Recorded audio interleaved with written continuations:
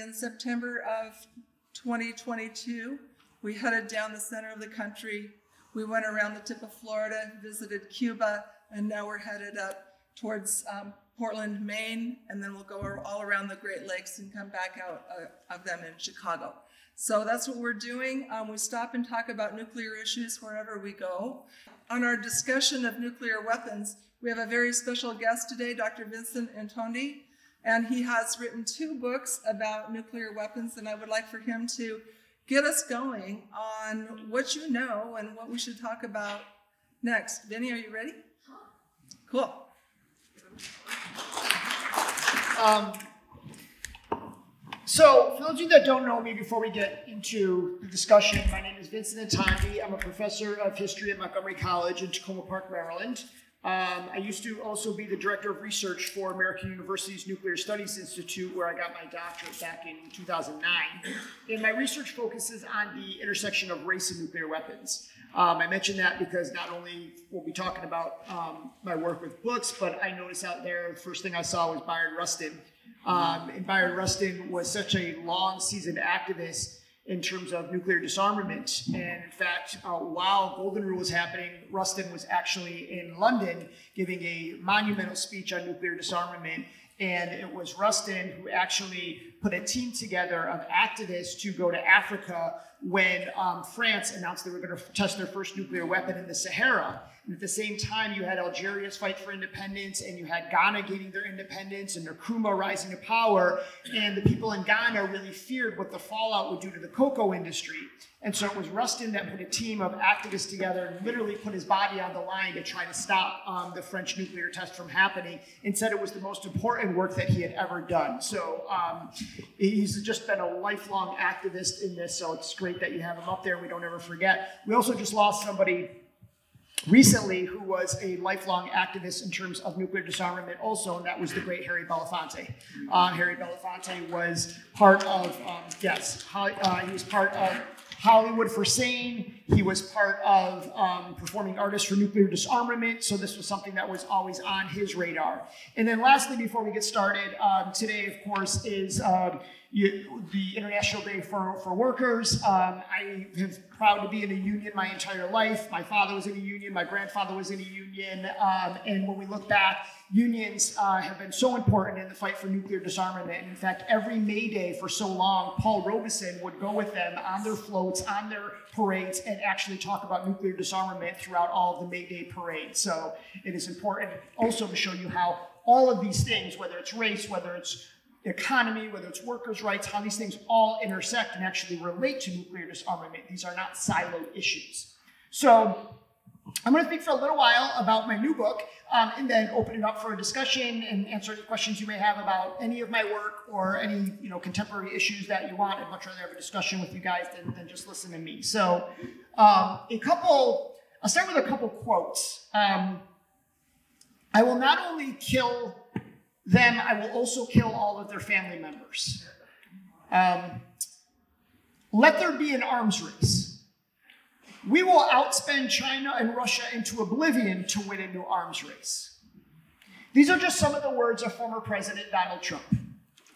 Uh, Trump talked about restarting nuclear testing. He talked about using nuclear weapons in North Korea and having Saudi Arabia, South Korea, and other countries have their own nuclear weapons programs.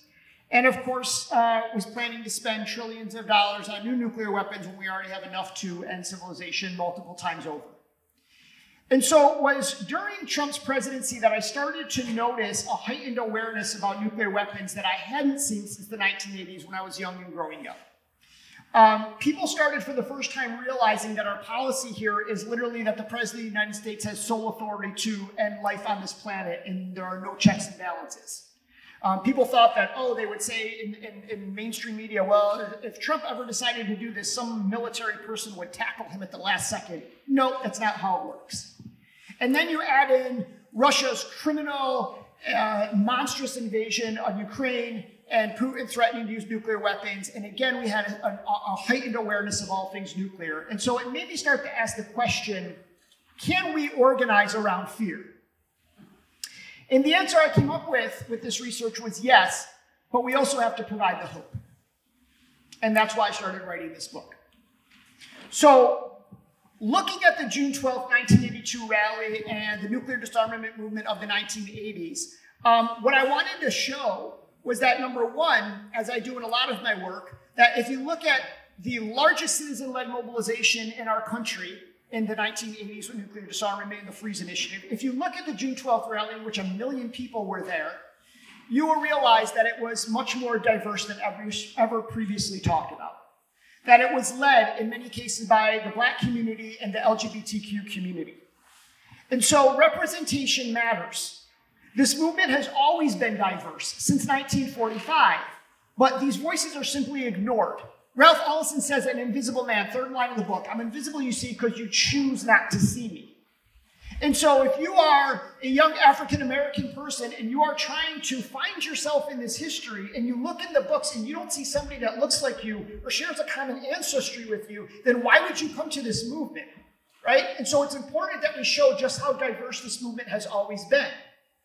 The second is I wanted to show that a lot of the same issues young organizers deal with today in social movements racism, homophobia, patriarchy these issues always existed and show how did these organizers navigate these issues in the 1980s to pull off the biggest rally in our nation's history. How did they get a million people in the streets without Facebook, without email, without cell phones? And somehow they did it, right? Um, and lastly, I wanted to show that grassroots organizing actually can move the needle and change policy, which they did. And so when the United Nations announced they were going to have a second special session on nuclear disarmament, a group of, of organizers, Mike Meyerson and David Cortright and David McReynolds, later Cora Weiss and others, all of whom I interviewed for this book, uh, agreed that something special needed to be done, something big needed to be done. But they also realized if they were going to do something big for the second special session on nuclear disarmament, that it was going to have to transcend race, it was going to have to reach middle America. It was going to have to transcend religion and political parties and ideology. And who or what could bring all of these constituencies together? In one word, Reagan. Um, now, Reagan's election was essentially a perfect storm. The right had tried to undo the New Deal since FDR. And going into the 60s, they tried to win with Barry Goldwater, and of course, that was a disaster against Johnson in 64. They try again with Richard Nixon, that's a disaster as well, and they know they got one more shot here. And so it's this perfect storm because coming out of the Vietnam War, as so many of you know, um, people were fatigued. They were suffering their own PTSD. Veterans came back with no limbs and brain injuries, exhausted and, and, and, and, suffering from PTSD. You had activists who had been in the street making sure we, to stop this genocide in Vietnam. And so a lot of anti nuclear groups shifted their focus to the Vietnam War. People are exhausted from just death. Right? You had Martin being killed in 68, and Bobby Kennedy, and JFK, and Malcolm X, and little Bobby Hutton, and Medgar Evers, and so many others.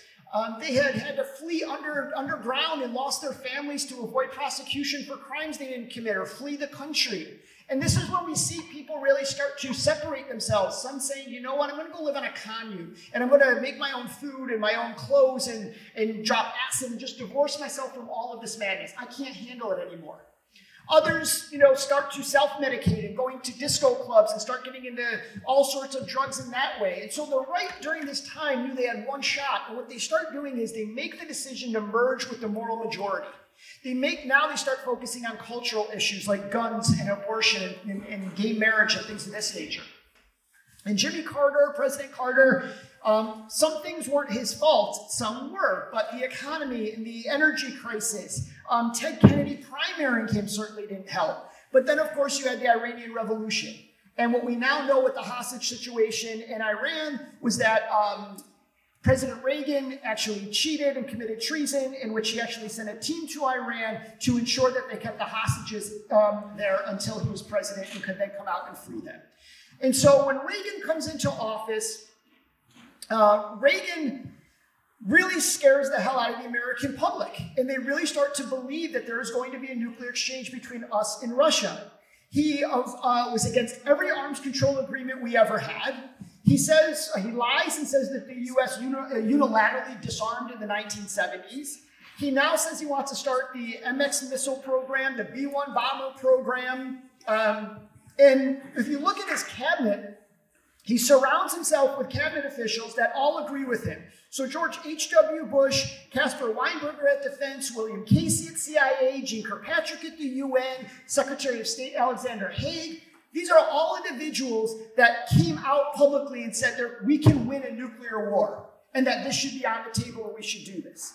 All of his officials, or most of them that had to get confirmation hearings, were saying things in the confirmation hearings like, oh, only 10 million people will die in a nuclear war. That's not all Americans. Let's give every American a shovel, and if they dig a hole big enough and put a door on top of it, they'll be okay. This was literally the rhetoric coming out in the 1980s. And then he actually goes to work doing what he said he was going to do, which was largely on how he spent his money. He spent over $2 trillion in his term, two terms as president on the military, mostly on nuclear weapons. And by spending this kind of money, um, who lost the poor?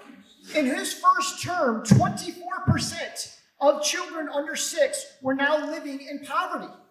12 million people were declared officially poor and impoverished. Over 1 million children in his first term now had the, their, their free lunch, the only meal of the day that they got, cut.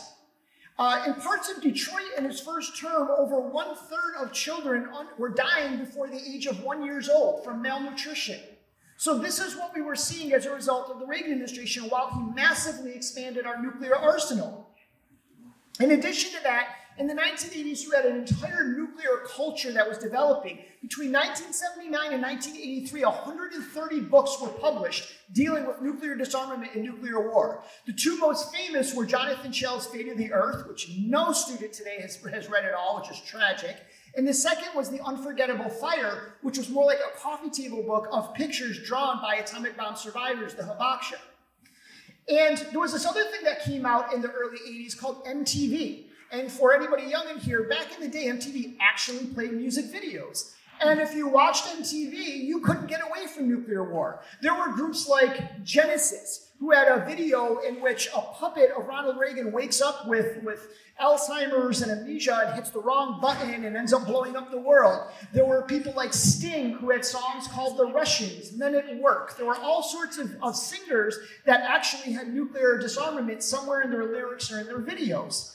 You also had Three Mile Island happening, which really started to freak people out about nuclear power and nuclear energy and how this plays in. So all of this was happening around um, the second session on nuclear disarmament. And so this also, what Reagan did, is it awoke a sleeping giant. And groups like SANE and Union for Concerned Scientists and Physicians for Social Responsibility all saw memberships grow in the early 80s now.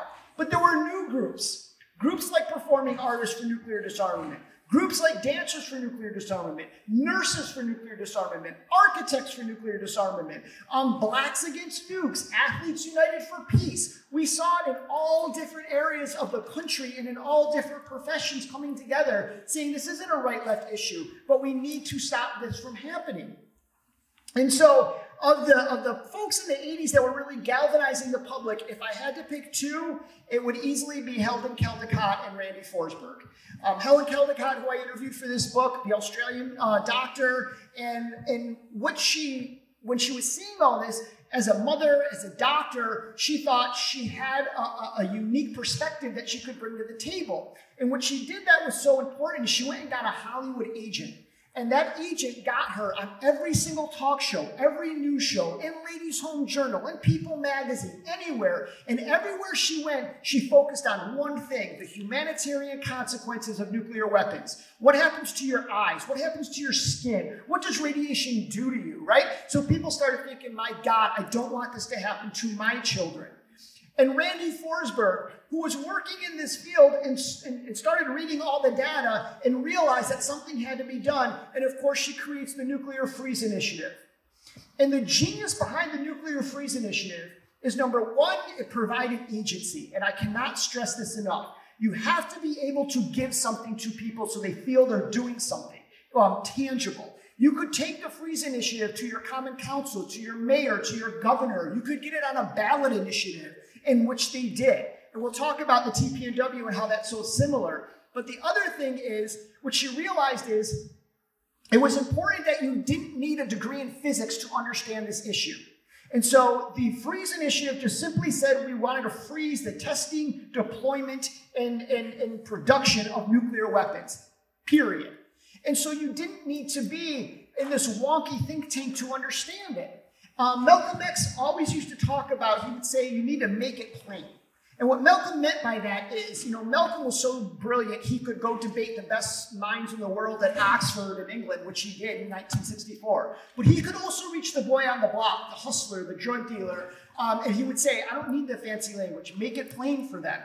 And so it's a rarity to have that crossover ability. The only other person I've seen that could do that was Tupac Shakur. Um, and so she understood that and it resonated. And so as all of this was coming together, now the hard part came, the planning of this. And if I was, you know, most of the folks I interviewed for the books would tell me, who cares who came up with the idea? It was a collective. That's an ego thing, right? Um, but if there was one person who was the organizer of this rally and put this all together, it was Leslie Cagan. Um, Leslie Cagan is still around in New York. I interviewed her multiple times for this. She is just a hero and a treasure that we have. Um, and so Leslie Cagan was also um, gay and out at that time. And this was 1982. This is not where we are today. So it was not easy for her in what she dealt with inside this movement in terms of homophobia.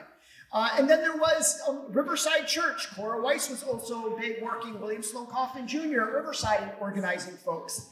And then, of course, Kathy Engel was another one who I interviewed for this book. And Kathy is a professor at NYU today, teaches English, an award winning poet. She's a brilliant and amazing. And, and she was a young activist organizer who they tasked her with getting all of the celebrities, all of the Broadway folks. That's what she worked on, uh, which was so incredibly important. And lastly, the Hibakusha, bringing the atomic bomb survivors here. They were also incredibly important. But now the issue became should this be intersectional? Right? When you bring in so many constituencies and so many groups, that's when all the all the personalities collide. And so it was difficult because those in the black community, Reverend uh, Herbert Daughtry and the Black United Front, the Third World People's Coalition, they were saying we have to tie this to race. Look where money is being spent and how it's hurting our communities. Um, look where nuclear testing and, nu- and use and production, this has always affected people of color. So this has to be in this. Others said absolutely not. Um, some were saying that um, in addition to this, we need to make sure that we talk about Israel invading Lebanon at the time. And then others said no. Or focus on, on the issue of Reagan employing death squads in El Salvador at the time. And so all of these issues were kind of now coming front and center when you're trying to organize this many people together. And at one point, it really gets so bad that it looks like it's not going to happen and there's going to be a split. Because, and most people I interviewed all use the same term. They called it the corporate coup.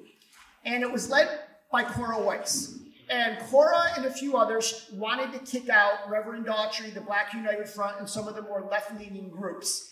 And so they started splitting off and thinking they were going to do their own thing. And it got pretty nasty, um, sadly. Um, and, and also they're trying to decide like who do you have talk? Because when you you don't want to have an alphabet soup of issues. You want to focus on the one issue of nuclear disarmament but you also want to include all these folks. And so this all you know became an issue until they finally settled it. And when they settled it they agreed that 50% of the leadership that day would be african american and they agreed there was one point where they had all these separate task force a task force for labor a task force for teachers and so on. And there was no separate task force for the LGBTQ community. And so when some raised their voice about this, some of the other organizers said, we don't want to do that because it might turn off some more religious conservative groups like the Catholic Church. What they didn't know, there were two Catholic nuns in the meeting, and they immediately spoke up and said, don't put this on us. We don't care anything about that issue. That's not what we're here for. And so we ended up getting an LGBTQ task force, and two prominent members from that community spoke that day.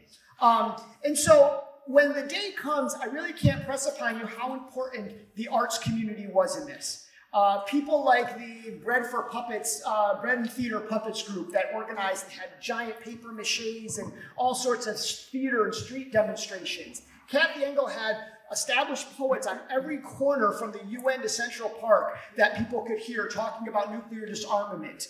Uh, even the official poster that's in the book, if you remember, it was a dove with five legs coming out of it. And the five legs were all different different races, different shoes, different pants, a skirt, whatever. And when I interviewed the, the artist of it, he said because he always looked at this movement as being intersectional and he wanted to show how diverse this movement was. I mean, people like where they got the money. Uh, people like James Taylor and Bruce Springsteen and so many other singers were having free concerts, and those concerts were then all the money for those concerts they raised essentially was being given to this. Um, you had in, in uh, the Rockettes in, in, New York City Ballet and the Nutcracker, they were putting in the playbills actual ads for nuclear disarmament and to go to the June 12th rally. And so you had people like Roy Scheider and, and Ossie Davis and Ruby Dee and Coretta Scott King. And um, I mean, I could go on and on of how many people, how many celebrities were involved in this. And the day comes, June 12th, it's a gorgeous day. And Leslie and others go down there at like seven in the morning and they see thousands of people already there. They had spent the night in Central Park. They realize every train in the entire New England area has added cars and is sold out. Buses sold out all over this country. People coming in from Canada, people coming from Japan, people coming from all over the place um, for this rally, and they realized just how big now it was going to be.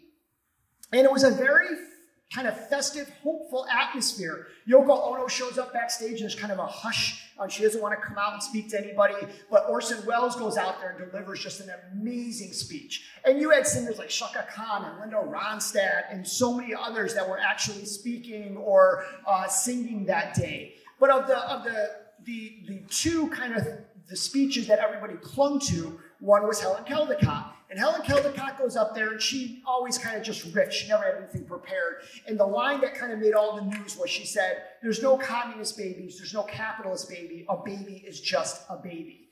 And then Randy Forsberg went up there and you know it said, We did it. We have a million people here. Um, that was the official police numbers. And, but it's important now that we go home and organize, right? And so that's really important. Again, that agency that the Freeze Initiative gave to people to go home and do something. You know, the agency is important, but also when you bring that many people together, that's also important. Because when you have younger folks, especially that are, you know, in places like South Dakota or Iowa or wherever, and they may feel alone, that they're the only person in their community that cares about this issue. And then you meet and you see that there's a million other people that are doing this work too. It matters. You feel that you're not alone. You're part of something bigger. So just bringing people together, you know, matters. Um, and the police were even smiling. They were even carrying doves and saying, This matters to us too. We don't want to die from nuclear war. And the next day, uh, all the media said there wasn't a single piece of garbage to pick up. Nothing. Everything was cleaned up after that. And two days later, we forget that on June, June 14th, there was a massive civil disobedience uh, demonstration where over a thousand people were arrested. This was worked out with the police to, again, have die-ins and sit-ins to, again, raise attention on this entire issue. So, the last part of the title of the book is June 12th, Disarmament Rally and Beyond. And I have that in there because as a, as a historian, I don't understand why anybody studies history if you're not going to bring it up and see how it's relevant today. That makes zero sense to me. So we want to look at the legacy and, and what we can take away from this. So when it first happened, um, a lot of people said it was a failure. There was no consensus agreement that came out of the second special session at the UN. Um, the Reagan administration said they were all at Camp David. They weren't paying attention to any of this going on. Um, you, the, arms the arms race continued. And then when you look at Trump's actions and Putin's actions, we look at now that China is massively expanding their nuclear arsenal. We see Putin willing to now put uh, nuclear weapons in Belarus. You see President Biden recently saying they're going to send nuclear capable subs to South Korea. And it's really easy for us to go, yeah, maybe, maybe we failed. Um, but the reality is a little bit different because years later, I went back and looked, and all of the Reagan officials, Secretary of State George Shultz, his pollsters, Nancy Reagan, and others all said, yeah, we knew exactly what was going on. You put a million people in the streets, you can't ignore that. We knew we were going to have to change policy. And so Reagan then meets with Gorbachev. And if we're looking for the person that ended the Cold War, the visionary for, for a future, it was Gorbachev, not Reagan. And Gorbachev meets with Reagan and he says to him, let's do it. Let's get rid of all nuclear weapons right here, right now. All I'm asking is that this ridiculous Star Wars plan that Reagan had, you just keep it into the laboratory for 10 years. Don't weaponize space, and we can do it right now.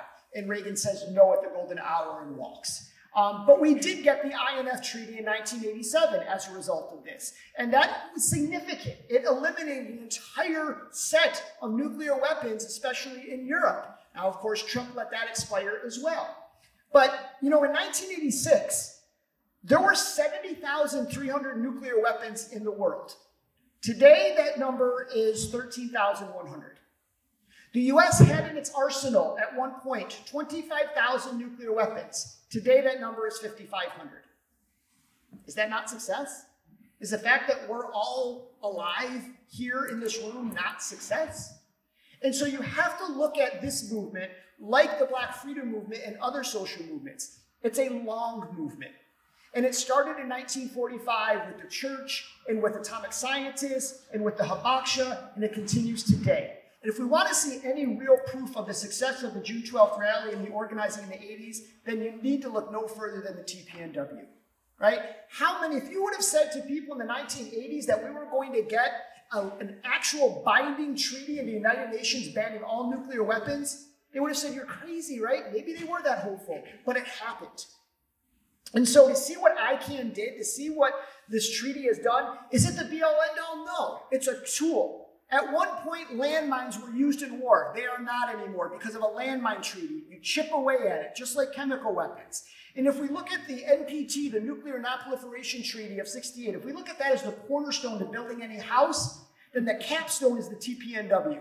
We got a lot of floors to build in between, but that's where we're aiming at.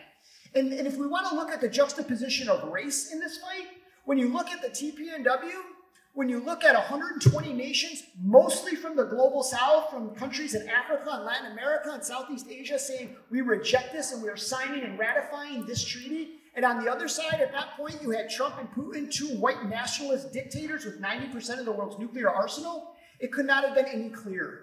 When you look at the US and Great Britain and France and Russia, when you look at them boycotting and fighting the TPNW, how rich is that? France, Great Britain, and the US, all with their own history of slavery, right?